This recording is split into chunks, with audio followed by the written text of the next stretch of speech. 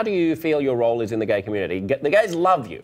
Well, adore you. Yeah, sure. so it's a good it's a good thing. In terms of your fans, in terms of your audiences. It's wonderful. Well, I, I want to. And when you say you're gay, also, I've heard I've heard you say so many different things about your sexuality. Uh, uh, you were married to a man, right? I am still. You are still married to a man. Yes. Right. So how do you conceive of yourself, and what does gay mean? Well, gay. Well, I'm bi technically bisexual, but right. then that term is so 70s. Yeah. That's you right. know, it's so porny. Yes. So you just sort of want to say, queer or, yep. and gay applies, but my politics are more, I guess, um, what would be called queer. Yeah. And um, so I think sexuality is an important thing to acknowledge and, and to talk about, but it's also a good place to be an artist too. So mm. I love it.